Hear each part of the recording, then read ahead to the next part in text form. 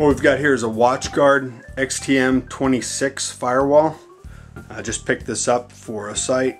Uh, need a little better security. Currently, currently using a uh, Linux-based firewall, which is fine, um, but they deal with some public entities, and those public entities want to a, name brand firewall that they know they can trust.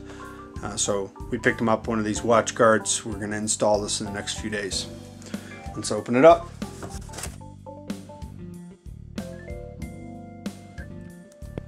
Uh, this is just the XTM. This is not the wireless unit. That was not necessary for this specific site, but they do have this uh, available in a wireless unit as well. If you get the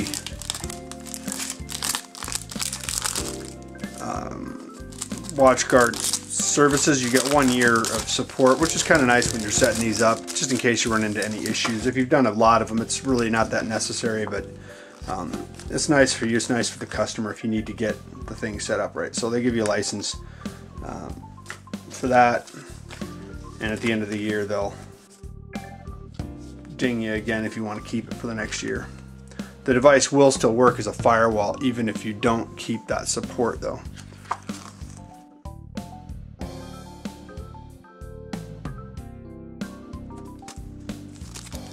Got interrupted there, so we've got hardware guides.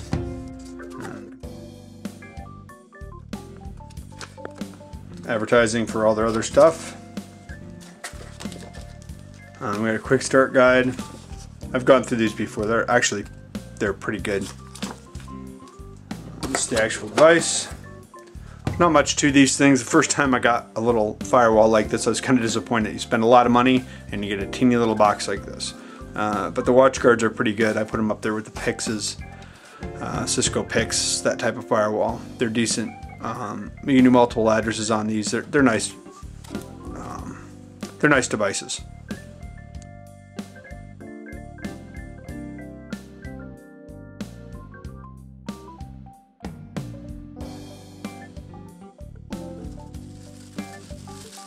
Uh, with each one of these included is some adapters for different uh, countries. Your European, all that kind of stuff. European, other country things. You got three prongs, the UK style ones. Uh, something I don't love about these are the bricks. I just don't like bricks. They're awkward, they're hard to find places to plug in, they suck up a lot of space, but if you're out of the US and you need to plug this into your specific network, you just pop that off and pop the new one in. So if you're in Iceland, that's going to work for you. I believe this is UK. Pops in. All there is to it.